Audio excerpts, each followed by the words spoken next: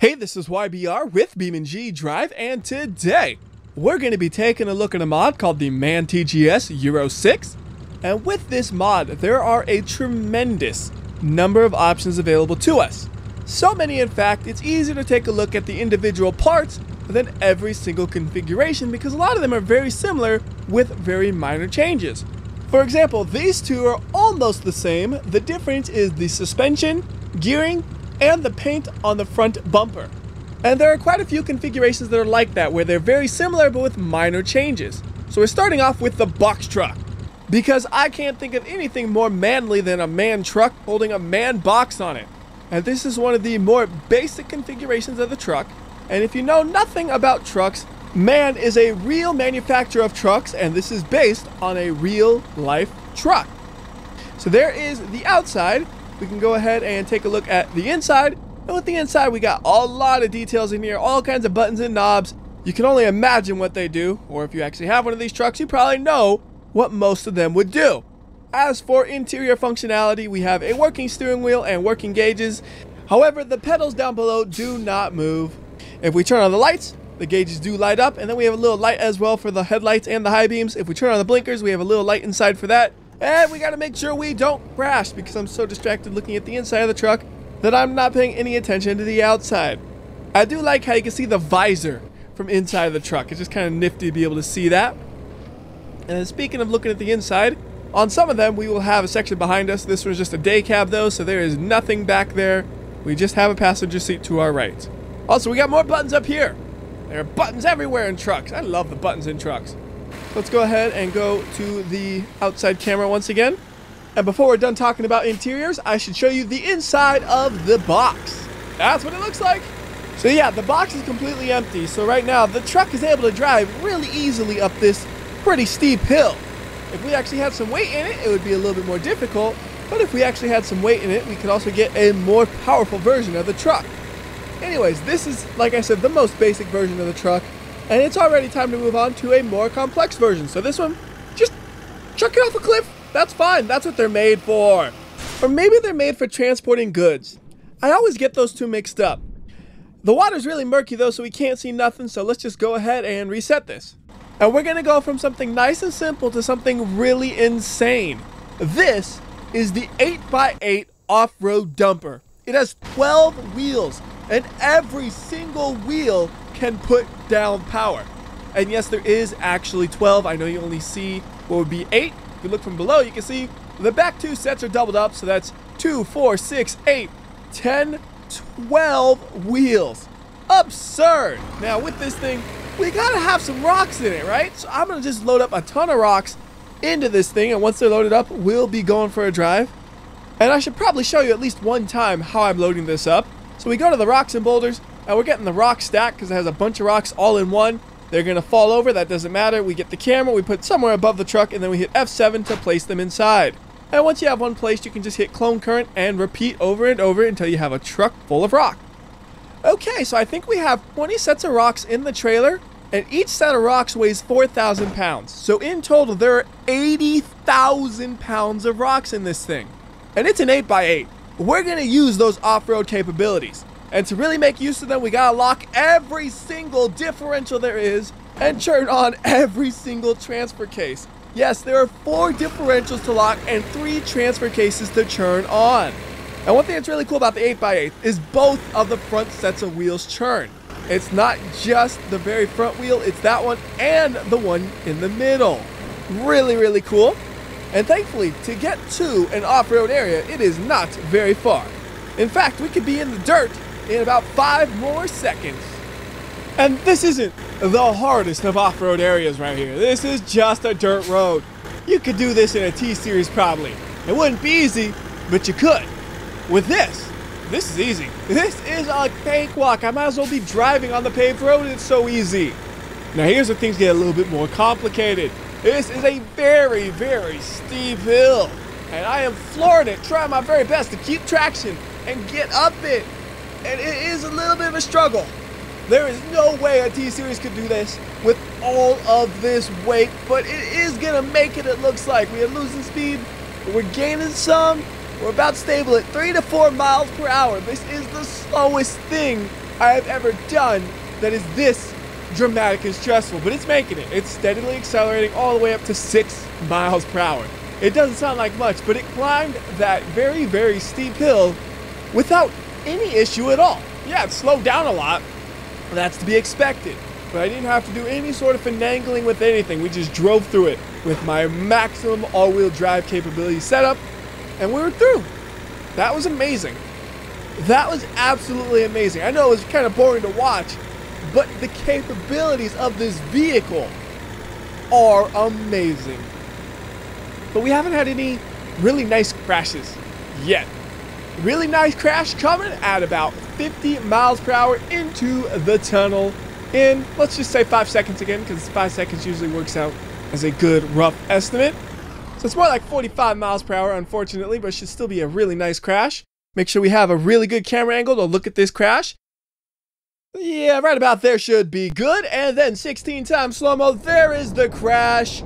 And all of the rocks in the trailer just gonna make a mess on the road. Again, that is 80,000 pounds of rocks.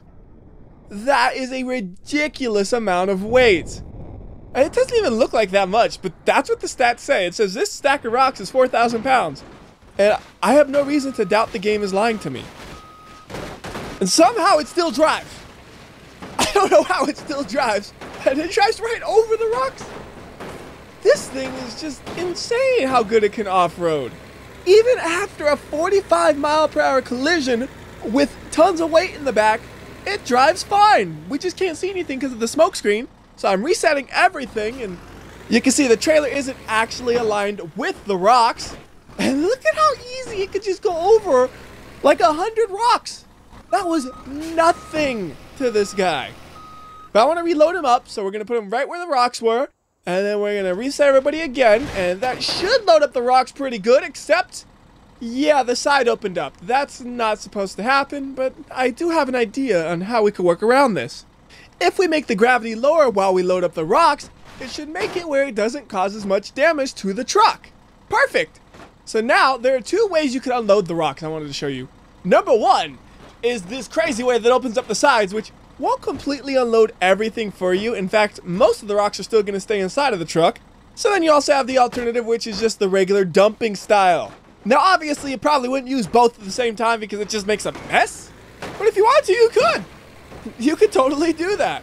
And a lot of the rocks are stuck to the side. That's a little strange, but that tiny bit of weight from the rocks is not going to slow me down. We're going to have another nice big collision, but this time, the trailer is going to be opened up and pointed upwards. So we're going to see what that looks like in the middle of a collision about 35 to 40 miles per hour right into this building. 16 times slow-mo once again. And that is a nice collision. Ooh, rear drive shaft is broken. That's not good. And look at this. The trailer actually kind of went down from the collision. That's nice.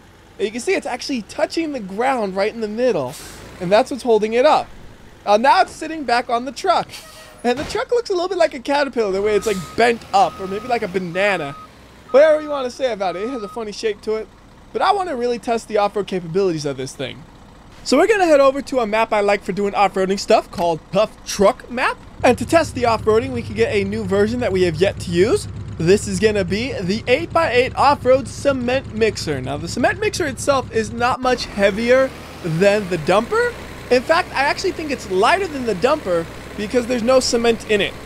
Anyways, they're starting off without locking any of the differentials, without turning on any of the transfer cases. Just going through this dirt area here is something that would probably get a T-Series with the cement mixer stuck. We are plowing through this. This thing has no fears. Bouncing all over the place, flooring it non-stop, going 20-ish miles per hour through this thing, and it did amazing not a hint of damage to it. So now, we gotta make things a little bit tougher. Well, I shouldn't sugarcoat this. It's quite a bit tougher. This next section is difficult to drive through with any stock vehicle. If you have something like the crawler version of the hopper, it's not too bad, but even then it can be a little bit difficult. So here we go. Differentials still not locked. Other transfer cases still not turned on. And we are doing pretty well, although we are finally getting held up a little bit, so we're going to turn on all the differentials, lock all the transfer cases, and we are back in action. And I absolutely love the fact that I'm not looking at all where I'm going. I'm just flooring it and trying to keep it in a straight line. I don't have to worry about, you know, trying to go over the smoother part of the bump or anything like that. We just bounce around, going all over the place, and continue trucking along like it's a regular road. It doesn't even know that it's off-roading. It's so strong. Oh, well, maybe a little bit here. Okay, we just got a little bit crooked, so we're going to straighten ourselves back up so we can get some traction going, and that's it. That's all we needed to do to continue going. This thing is basically unstoppable at off-roading. It doesn't look like it would be this good. But having an 8x8 configuration with 12 wheels, that's absurd. Uh-oh. Although we have just lost one of the front drive shafts. We should have another one left, actually, but uh, it looks like, yeah, we actually lost two of the front ones. I don't know when we lost the other one. So we only have just the rear two sets, which isn't quite enough. It's so long, we kind of need those front drive shafts to help us along, I think. That's the problem. So if you're doing serious off-roading, you need to have that 8x8 because it is an absolute monster. I cannot believe it made this. I was pretty sure it would get stuck or it'd be a real struggle. There was no struggle. There was a oops, I was driving crooked, let me correct it.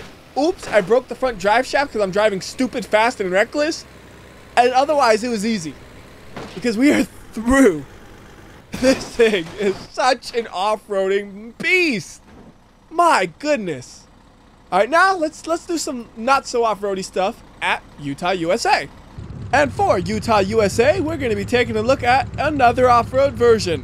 This one is the 4x4 off-road fertilizer tank agro truck. And this is just kind of cool because it has this little fertilizer tank on it so you can use it in farming applications. Also, here's a fun little fact. The original model for this mod is from Farming Simulator.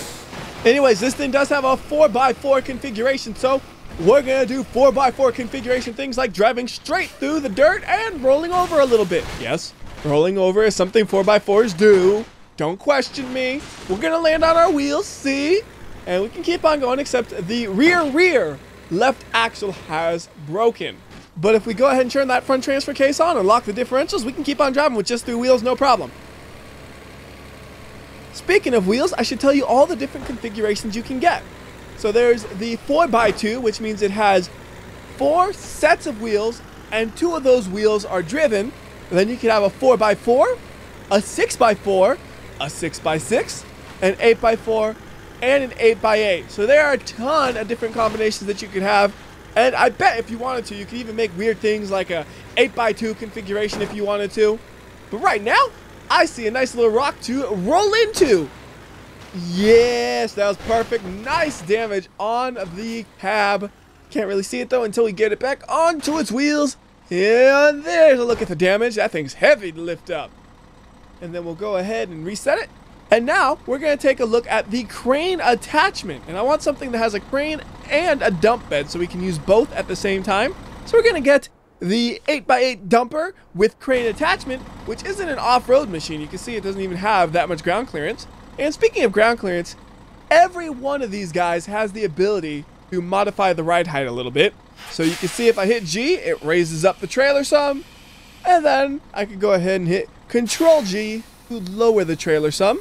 So it's just a little bit extra tweaking you can have you need to raise or lower the vehicle.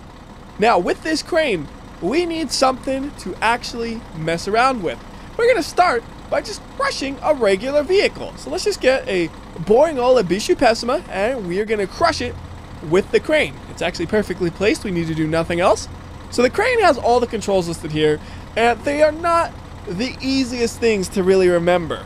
So if you want to learn the controls, it will take you a while. I'm not going to say the specific controls out loud because I'm going to need to focus on actually hitting the buttons to do what I want to do the first thing we need to do is go ahead and stabilize the truck so it won't tip over as I mess around with the crane. So we pull these things out as far as they can possibly go. And then we're going to unfold the legs. So the legs go down. And then we need to extend the legs, which will make it nice and stable, in theory. Next, we need to open up the crane so we can do that. We're going to do it in two stages. So you have just the movement I'm doing here. And then you also have this movement as well to fully open the crane. And is it going to clear it? Ooh, no, it's not. Yes, you can kind of wreck your own vehicle with the crane, so be careful. So there we go. The crane is now opened up. Next, we are going to extend the crane. And now we wait for the crush. Perfect. Yes. This is how you crush a vehicle with a crane. And you do notice the crane is lifting up. Well, I should say the truck is lifting up even with the supports because it's putting all of its strength into crushing this car. And it's still crushing it more, but it's still lifting the truck more as well. This thing looks like it wants to flip over at any moment, but it can't because it must crush. It must crush. Uh, that is awesome. So now, let's see. Can we lift the car up? Sometimes the crane gets stuck inside the cars when you crush them. Sometimes it doesn't. Let's see if it did. We are now kind of level, so the car should start to try to lift up any moment now. Will it lift? Unfortunately, no. It was close. It almost did, but it couldn't. The good news is, is there are things that we can lift. So let's go ahead and get one. There are these special crates. They're specifically designed to work with the crane. And now we just need to attach the crane to the crate. And actually what I need to do is wait for the crane to stop wiggling all over the place because I have no idea where it's going to end up. Okay, the crane is stabilized and I lined it up with the box. So to attach the box, we go to couplers and then just hit attach all and it will attach to it. And we can go ahead and lift the box up. And here's a fun fact for you. We really do need these additional pieces holding the truck up because if those aren't there, we would tip over right now. It's not even that high in the air. But if we go ahead and reduce the height of that, in fact, just flip them up all the way and then raise the crane more and more, it just tips my truck over. It doesn't actually raise it, it tips it over because the center of gravity is so far out there, man. It can't do nothing. So to fix that, we can go ahead and flip the stabilizers back up. Right, there you go. Pull yourself up. And then we go ahead and extend them. And now that it's stable, it can actually put it way, way into the air. You can see just how high this thing can get. And it's not even at max height, I don't think, yet. Like, I am extending this thing as far as it can possibly go up into the air just to see what its limits are. And it's still raising it. In fact, I got to adjust the camera. By the way, it's like a two-hand job to adjust this thing properly, hitting every single button you need to do. And I'm hitting the wrong button sometimes. There we go. Okay. So I think at this point it is fully extended and it's just in the sky. There's just a crate in the sky now. Let's see, if we uh, do this, it's gonna tip over. Oh no! Stop it! Stop it! Untip! Untip! Please untip! Oh my goodness, it worked. Okay, here is the dumbest idea yet. We're gonna try to load it into the trailer from that height. I think it's gonna miss the trailer by quite a bit, but I'm trying. So I'm currently rotating the crate so it'll be above the trailer. It's kind of hard to see because it's a little slow. But if you stare right here, you can clearly see the rotation as it happens. Very slowly, it rotates. I think it's still rotating, isn't it? Or did it break? No, it's rotating. It's going. It's going. Give it time. Give it time. Okay. So, see, how's that look? Eh, we can rotate it a bit more is definitely going to overshoot the back of the truck. So to have a little bit of fun with it, we'll try to put a car under the crate and the crate will hopefully smash a car. That is uh, pretty much right behind him. Like I don't need to do right behind him since I'm like almost certain it's going to miss. But just in case it actually makes it, we'll have it there. So to crush a car, we'll just grab a little pickle out here. Kind of a small target, so hopefully I'm accurate here. And somehow when I was hitting all those buttons, I started a replay. I don't know what I'm doing, man. So we'll put the pickle like right here. Does it look like it's right under it? That looked pretty close. And then we go back to the truck. We go to the couplers. And then we detach all. Then we gotta swap over to the pickle and freeze physics before the crate makes it all the way down. Try to get a nice camera angle for this. Eight times slow-mo, unfreeze physics. And the crate should be coming down from the sky at any moment. I see the shadow. There is the crate. And it was perfectly placed. Completely crushed in the roof of the pickle. And now it's even kind of flying in the air a little bit. Oh, what is this? It's staying like that. How in the world has this happened? that looks wacky. But that's how it's going to stand. Okay. Well, we are now done with the pickle. So we're going to go back to the man. And we are going to do something dumb. We're going to take the man and we're going to try to drive it through a tunnel, which obviously is not going to work because we have a crane going about a quarter mile into the air. Probably not that long, but it seems like it's such a tall crane. And we're going to see what happens. It should get stuck. I think the crane's pretty hefty. Oh yeah, it just smashed my roof into the ceiling of the tunnel. Nice. Well, this guy is completely ruined, but there's another truck that I want to specifically take a look at that isn't really the best suited for this location. In fact, it's best suited at a racetrack. So, let's go ahead and make our way over to a racetrack. And the automation test track should be good for this. And we came all the way to this racetrack to take a look at the 4x2 drift truck. And again, 4x2 means four wheels, and the back two are driven. And the funny thing about this is the paint design. It has a AE86 from Initial D styled design on it, even has the Japanese text on it. And one thing you're definitely going to want to do to make this drift better is lock the differential. Otherwise, what ends up happening is you'll have one of the wheels kind of pop into the air a little bit, and you'll have no power going to the road and you just slow down so fast you can't really drift. With the locked differential, you can actually put the power down no matter what and really let it slide about some. And I'll tell you now, this is not a great drift vehicle.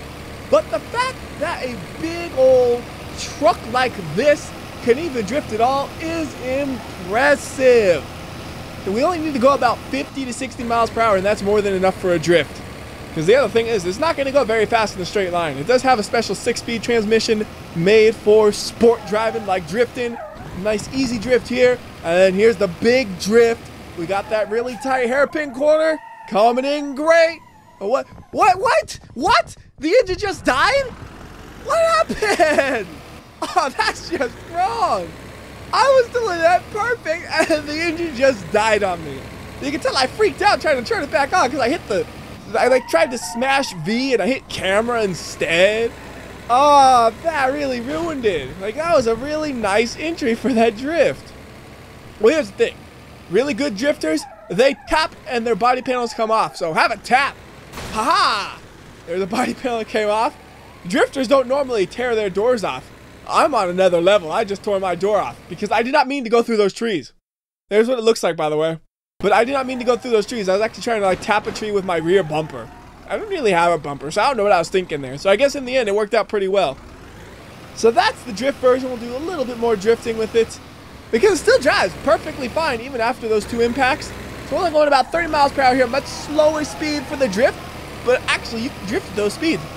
It works perfectly fine to do drifts at very low speeds. Which is really nice, because again, it doesn't have that high of top speed. Here's a little fun thing we can do, like a little 180 maneuver. Park it. Oh, that was beautiful. Can't finish better than that. So now we're going to go on to Leap of Death, and it's time to chuck this thing. And for Leap of Death, we got to use the biggest, baddest option there is. Time for the 8x8 off-road dumper. And then we can dump as we fly through the air if we want to. I don't know why I would do that, but we could. Uh, to get some traction going, lock them differentials, turn on them transfer cases, and now we're moving. We also got some extra ground clearance, which makes it easier to go over the jump. And we're going a surprising 45 miles per hour. That thing was moving. And here comes the big impact. This is going to be a really big one, so 16 times slow-mo is the minimum. I might even hop it up to 100 times when the impact actually happens. Yeah, let's go 100 times here and then the camera's probably going to freak out, so I'm going to manually locate the camera in the perfect angle to really watch the cab get crushed. There goes the cab, and then there is the rest of the truck getting crushed as well. And now we just have a dozen wheels flying all over the place as they have all become detached from the vehicle. And look at the scroll bar at the thing for parts that are broken. It was just this massive bar of things like, I'm broken, I'm broken, I'm broken in every which way possible. So we have completely destroyed it with just one impact. That's all it took. There's a little bit of glitchiness going on, but overall it held up pretty well for how big of a thing it is and how many parts there are. I am very, very happy with that. Now we'll let it get to the very bottom. It almost looks like it was flying for a second there. That was kind of funny. Just like the way it's floating down, it has a lot of forward momentum, I guess. I guess because it's so heavy, it takes a lot to really lose that forward momentum. Anyways, until next time, this is YBR. And remember, if you like or dislike this video, I don't know. I can tell by counting the number of wheels on the truck. So do the right thing, and I'll see you next time as you guys have a bonus fall. That's only as long as 20 seconds because that's when the thing ends for the little cards for you to click on the next video. That's why the videos always have those extra 20 seconds, by the way. It's because usually on most platforms, there are little things like, look at this video, look at that video. I don't know if it supports all platforms, though. Also, I talk through it. The whole point is I'm not supposed to talk through it. I have failed.